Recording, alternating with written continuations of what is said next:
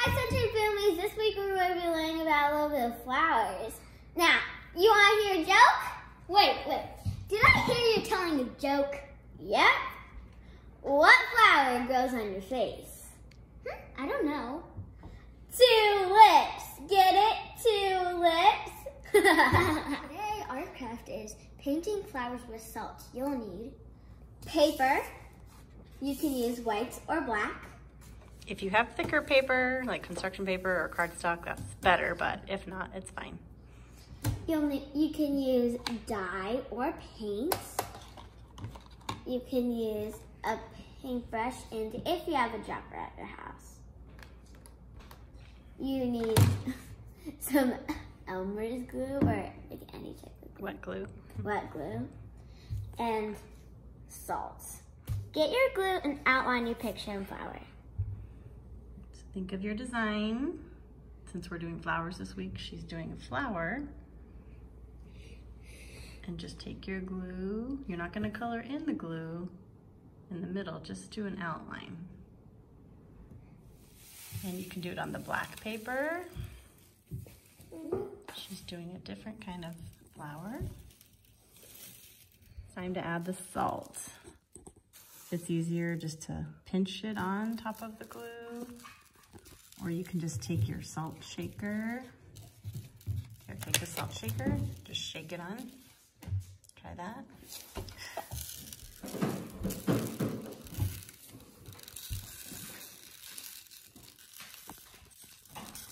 So you're gonna try to cover all of the glue and then it's okay if it's extra because we'll just shake all the excess glue off.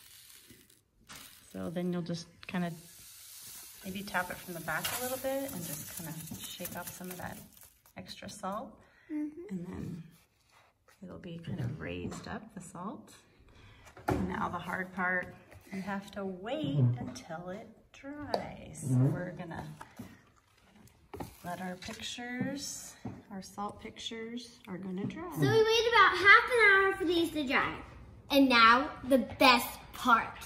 So now I have my dye and my paints. I'm going to show you both ways.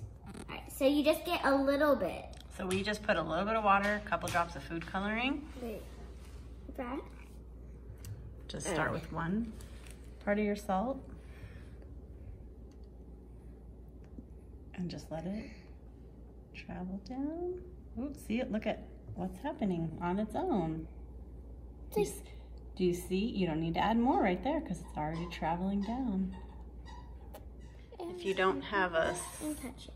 dropper, you can just use a paintbrush And use the dye. and just dip Whatever. and just let it travel down yourself and see what happens. The more water you add into the paint, then it'll travel down. Woo! See, it's like traveling under that. See if it'll. Get a little bit more paint on there, squeeze a little bit more.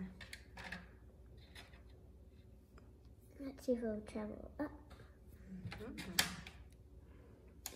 Okay.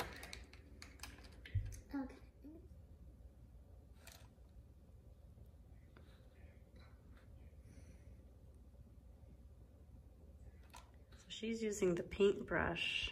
She's just adding a lot of water. Ah!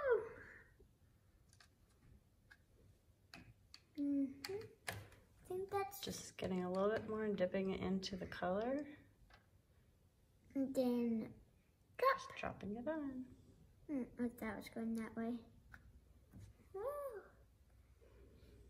So you can either use food coloring with water, or if you have watercolor paints and a brush, you could do that too.